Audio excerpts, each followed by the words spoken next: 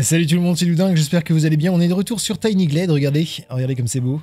Et j'étais euh, ce week-end en train de, faire quelques essais sur Tiny Glade et mon fils a débarqué, alors il est très jeune. hein. Et alors il a vu les moutons, il était fan des moutons, il a tout de suite voulu les mettre dans un enclos. Papa, vas-y, on va construire un enclos pour les moutons. Et alors on a monté un enclos pour les moutons et ça a fini par euh, donner tout ça en fait.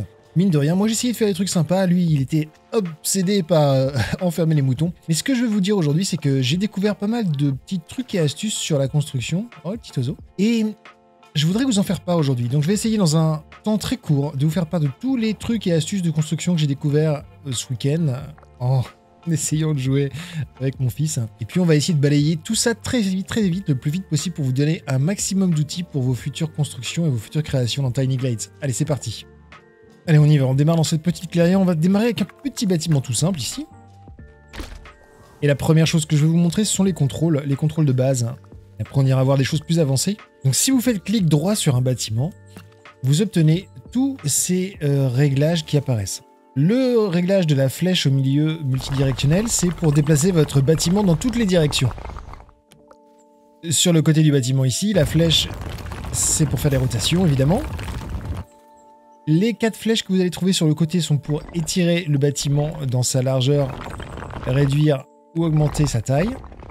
Au niveau du toit, vous avez deux flèches qui vous permettent de réduire le toit en une pointe ou de l'élargir jusqu'à obtenir comme ça des, sortes de façades.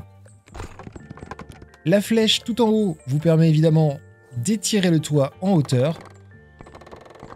Et les deux flèches en haut du toit qui pivotent permettent de changer euh, la direction du toit. Je vous montre plus avec ça, ce sera plus visible. Comme ceci, comme ceci, l'orientation du toit. Maintenant, vous avez ici très utile cette longue barre sur le côté avec deux points. Le point blanc qui est en haut vous permet d'augmenter la hauteur du bâtiment. Vous pouvez aller très haut, vous pouvez aller très bas. Le point qui est en bas est très utile lui aussi. Il permet de régler la hauteur de la base du bâtiment. Si vous remontez, vous obtenez la base du bâtiment qui va donc plus haute et vous avez des colonnes comme ça qui apparaissent. C'est très utile pour faire plein de choses très sympas, on va voir ça après. Si vous n'utilisez pas forcément le clic droit pour faire apparaître tous ces paramètres, vous pouvez juste avec votre main faire pas mal de choses. Vous avez toujours en haut le pivotement. Vous avez une chose que vous n'avez pas avec le clic droit. Si vous maintenez sur la toiture votre pointeur clic gauche et que vous vous déplacez sur le côté, vous pouvez faire un toit concave ou convexe et choisir ce qui vous convient le plus. Sur les côtés, vous avez élargir ou rétrécir les murs. À la base du toit, vous avez la hauteur du bâtiment. Et tout en bas, quand vous obtenez ce petit rectangle, vous obtenez ce ici, vous avez la hauteur du bâtiment. Voilà, on n'est pas obligé de passer forcément par le clic droit, mais ça peut être pratique parfois. Sur le bâtiment euh, circulaire, la tour, vous avez à peu près la même chose. Vous avez le diamètre sur les côtés, la base en bas, monter, descendre, la hauteur à la base du toit, ici. En maintenant sur les tuiles gauche et droite, concave, convexe. Et en haut et en bas, la hauteur du toit, jusqu'à faire disparaître le toit. Une fois que vous avez fait un bâtiment, vous avez la palette de couleurs ici qui vous permet de recolorer le bâtiment entièrement. Il suffit de sélectionner la palette de couleurs, cliquer sur votre bâtiment et vous avez cette palette de couleurs qui apparaît. Vous avez des briques de différentes couleurs, vous avez des murs avec une sorte de crépi de différentes couleurs. Et enfin, sur la gauche, l'extrême gauche, vous avez ici euh, des, euh, des murs avec des morceaux de bois qui sont très sympas. Les murs sans le bois, les murs sans rien du tout. Voilà, briques, bois, sans rien. Si vous choisissez le bois, sachez que si vous recliquez avec la palette, vous avez un second menu, un sous-menu qui apparaît avec d'autres couleurs qui, qui, sont juste pour le bois. Vous pouvez juste choisir la couleur du bois. Vous pouvez recliquer, changer la couleur du mur. Vous avez la même chose sur la toiture. Si vous cliquez avec la palette sur la toiture, vous pouvez choisir la couleur de la toiture. Voilà. Ok, c'est bien. On va effacer tout ça. On va maintenant regarder deux autres choses. Mais avant ça, je voudrais vous montrer le click and hold. Donc, quand vous placez un bâtiment, on prend un bâtiment carré. Quand vous placez un bâtiment et que vous maintenez votre clic, vous pouvez changer la forme initiale de votre bâtiment. Par exemple, si vous avez besoin de placer un gros bâtiment, vous maintenez le clic, vous le retenez, click and hold, vous tenez votre clic et vous relâchez quand vous avez la taille souhaitée. Là, je veux un gros bâtiment, je vais faire ça. Maintenant, si je veux un petit bâtiment, je vais cliquer, je vais maintenir et je vais rediminuer pour avoir un petit bâtiment. Et enfin, si je veux faire toujours la même chose, mais cette fois je veux un bâtiment tout en longueur, je maintiens mon clic. Je voulais pas faire une tour. Voilà, je maintiens mon clic, je vais dans la largeur, mais je veux pas un bâtiment large, je veux un bâtiment fin, et je clique. Et voilà. Vous maintenez le clic gauche avant de finaliser votre bâtiment, et vous choisissez la taille que vous souhaitez. Maintenant, un truc très sympa que j'ai trouvé ce week-end. Prenons un bâtiment comme ça. Faisons une grosse base. Enlevons le toit. Réduisons sa taille jusqu'à ce qu'il soit euh, proche du sol, comme ça. Faisons un autre. Même dimension, même chose. Clic droit, je le déplace. Vous avez toujours des créneaux comme ça, comme pour faire un château. Alors c'est sympa, mais parfois vous voulez qu'il n'y ait pas les créneaux. Il y a plusieurs possibilités. Avec la palette, quand vous cliquez dessus, vous pouvez choisir ici le bois et ça vous fait une espèce de petite barrière en bois à la place des créneaux. C'est très joli. Parfois, vous voulez qu'il n'y ait en fait rien du tout. Mais vous pouvez pas, vous avez toujours les créneaux. Dans ce cas-là, vous faites une deuxième structure à peu près de la même taille. Vous faites clic droit. Vous allez essayer de la déplacer dessus, comme je viens de le faire, à la même, au même endroit. Et là, vous obtenez une dalle parfaitement plate. Vous n'avez plus les créneaux. Et ça, c'est extrêmement pratique parce que c'est bien les créneaux, c'est bien pour faire des châteaux, mais parfois vous avez besoin de rien du tout. Vous voulez juste une base simple et neutre. Et voilà comment faire une base simple et neutre. Deuxième chose, si vous voulez faire une sorte de pont, c'est assez simple. Vous faites un bâtiment donc assez étroit. Vous retirez le toit, vous le baissez. Vous montez la base, évidemment, ça va créer des arches. On va diminuer la hauteur. On va faire un petit peu plus large pour la démonstration. Voilà, vous obtenez une sorte de pont. Vous pouvez évidemment faire passer de l'eau dessous, c'est très mignon. Si je fais passer de l'eau dessous, voilà. C'est très sympa. Et si vous faites passer un chemin, évidemment, vous allez normalement obtenir un escalier. Ah, il n'est pas assez bas. C'est pas grave. J'ai fait le chemin, je vais baisser. Et voilà, dès que j'atteins le niveau du sol ici, on a un escalier. Vous voyez, si vous voulez que l'escalier soit de la largeur de votre pont, vous reprenez l'outil de chemin, diminuez sa taille. Vous allez passer juste ici, au niveau de l'escalier. Pour obtenir la largeur que vous souhaitez. J'ai fait un peu trop large. Je vais essayer de faire un petit peu moins. Voilà, et puis avec l'outil gomme, vous pouvez corriger. Hein. Vous prenez chemin, vous faites la gomme la plus petite. Vous gommez jusqu'à obtenir ce que vous souhaitez. Là, c'est comme ça, c'est pas mal. De l'autre côté, ça déborde. Je peux effacer.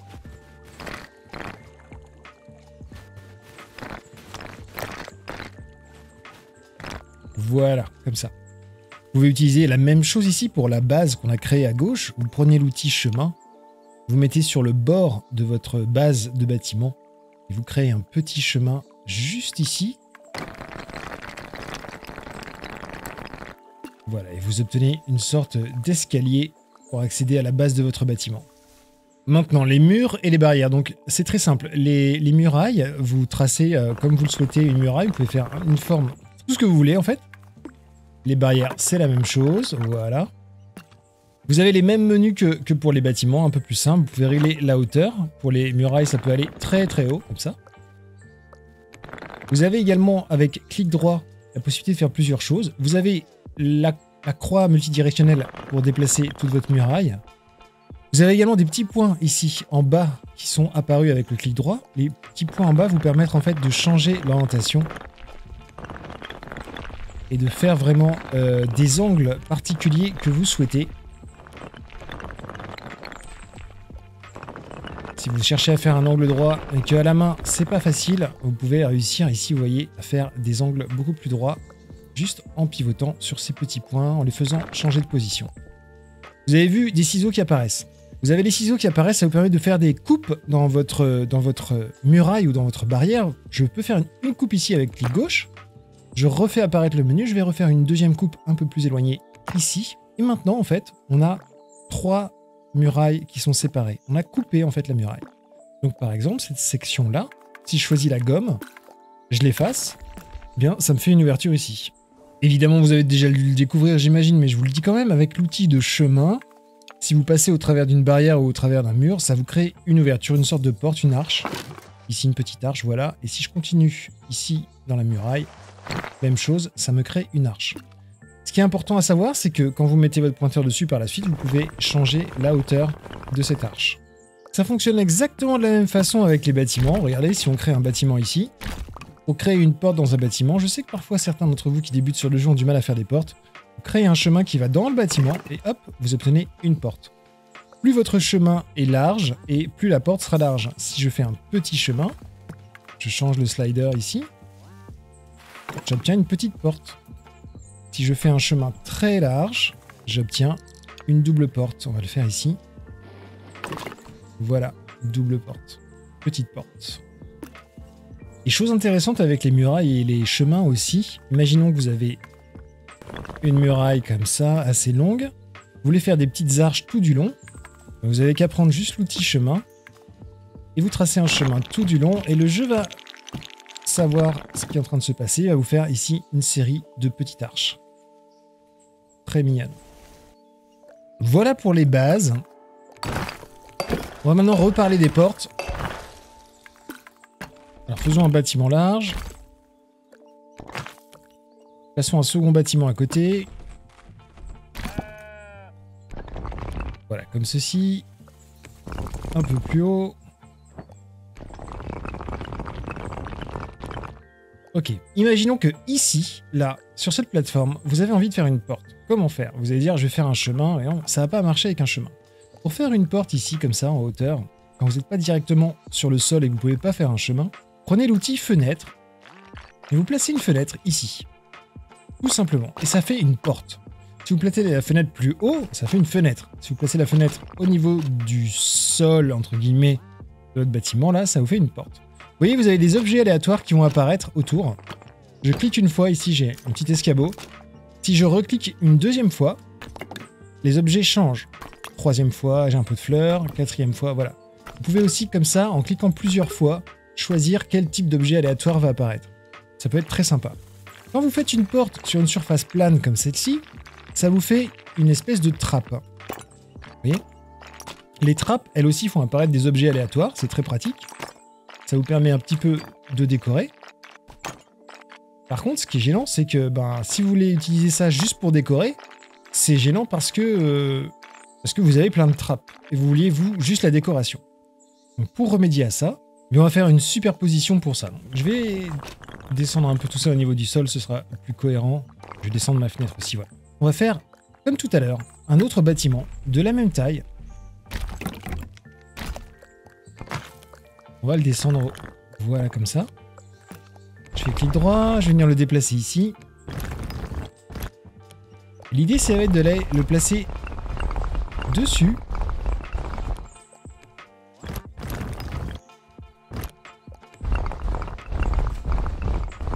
Et en le plaçant dessus, vous voyez, vous avez les trappes qui sont euh, presque invisibles.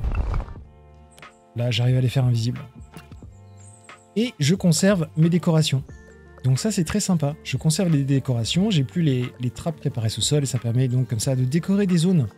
Et grâce au système de trappes de décoration aléatoire, mais en faisant effacer toutes les trappes multiples que vous avez utilisées pour avoir les petites décorations.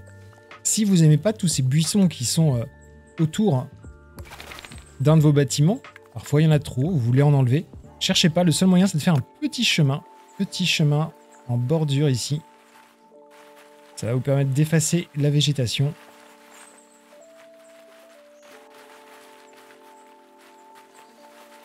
Voilà, vous approchez pas trop du mur, sinon ça va faire un escalier. En tout cas, si vous avez besoin d'un escalier, bah, je vous rappelle qu'il suffit de faire un chemin, ça vous fait un petit escalier. Voilà. Si c'est pour enlever juste les buissons, donc un petit coup de chemin le long du mur, comme ça, ça vous effacera la végétation, juste ce dont vous avez besoin, si vous trouvez qu'il y a trop de végétation. La végétation, pendant que j'y suis, c'est important. Euh, par exemple, vous avez donc euh, les fleurs ici, très sympathiques. Vous pouvez faire passer un chemin au travers des fleurs. Il est un peu étroit. On fait un peu plus gros. Voilà. C'est la même chose pour les plans d'eau. Hein. Je vous montre. Vous faites un plan d'eau ici. Si vous faites passer un chemin au travers du plan d'eau, vous avez un petit chemin d'allée qui va apparaître.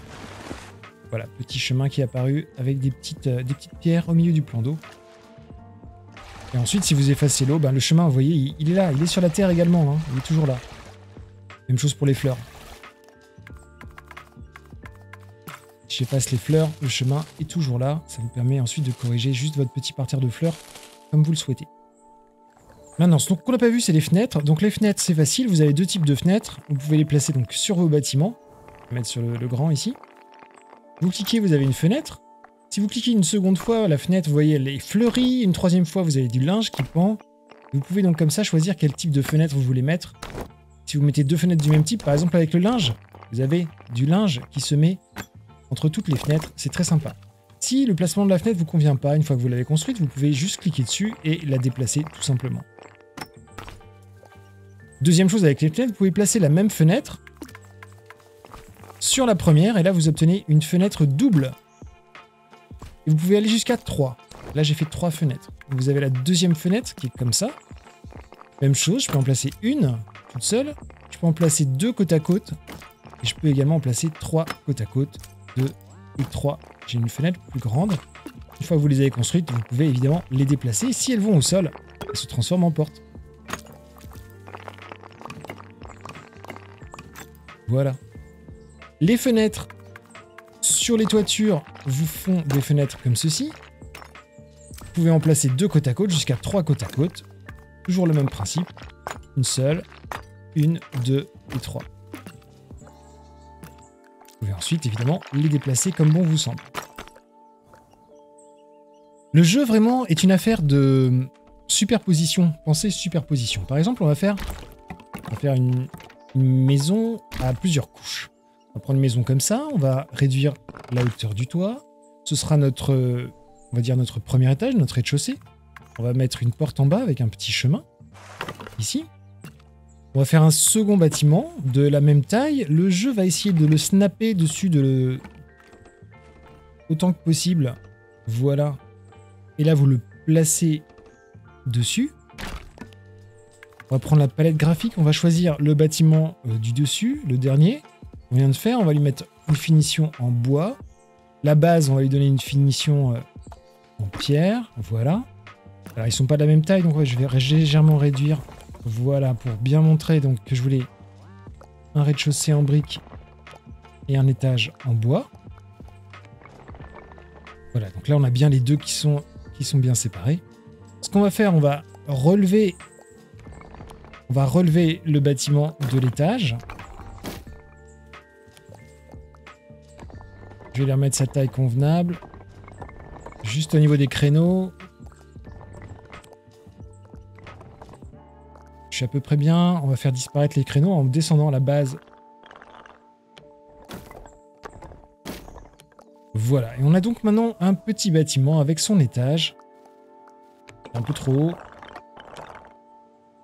Voilà, c'est tout de suite plus mignon. Si vous l'élargissez davantage, le jeu va vous faire regarder des petits, euh, des petits tasseaux en bois, des petites poutres qui vont dépasser. C'est très mignon également.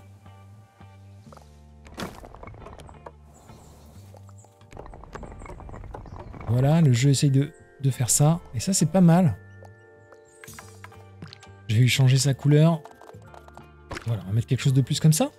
On va faire maintenant un troisième bâtiment. On va placer sur le bâtiment précédent. Vous avez vu qu'il a repris exactement les mêmes couleurs que, le bâtiment qui précédait.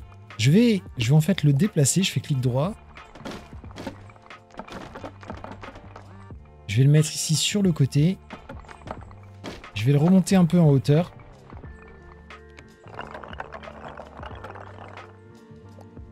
Diminuer sa largeur. Regardez ici, le jeu a fait des poutres qui euh, maintiennent en fait. C'est très joli. On va faire la même hauteur au niveau du toit ici. Voire même un petit peu moins. On peut rajouter ici de l'autre côté encore un bâtiment de plus au niveau du sol. Chose d'un peu petit, un peu massif.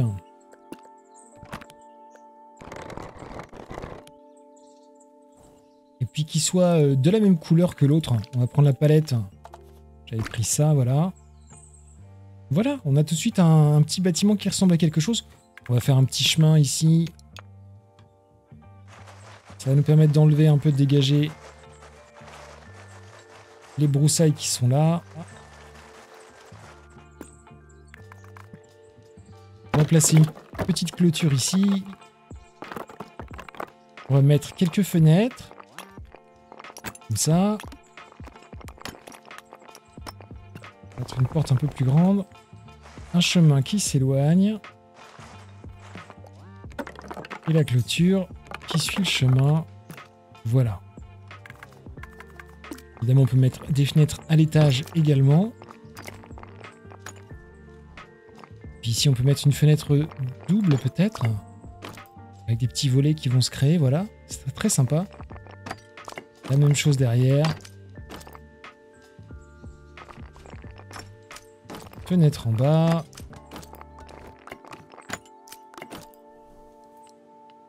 Voilà, comme ça. On peut également penser ici, aussi à mettre des fenêtres au niveau du toit ici.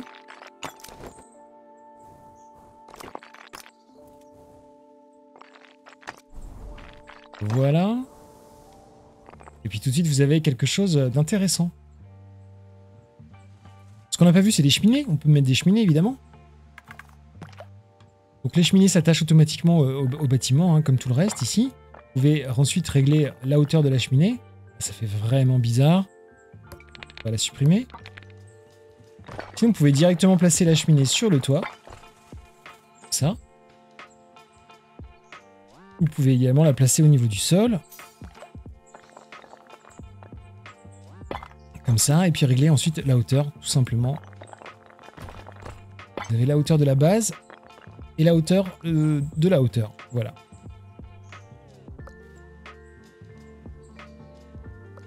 C'est sympa, non? Pendant que j'y pense, une dernière chose que j'ai découvert sur les murailles. Je voulais faire des murs droits pour une construction particulière, et j'y arrivais pas parce que quand on fait un mur, une muraille, bah, on obtient toujours quelque chose d'un peu comme ça, un petit zigzag, parce que euh, c'est pas facile de, faire quelque chose de droit euh, juste avec notre pointeur. Ce que vous pouvez faire pour rendre ce mur droit, vous faites une petite section de mur toute petite. Genre comme ça. Faites clic droit dessus. Là, vous avez donc les petits points en bas qui apparaissent, qui vous permettent, je vous le rappelle, de repositionner. ça vous permet aussi d'étirer. Donc je vais cliquer sur ce point, je vais l'étirer. Et là, j'obtiens un mur parfaitement droit. Je peux ensuite euh, déplacer comme bon me semble. Et il est parfaitement droit.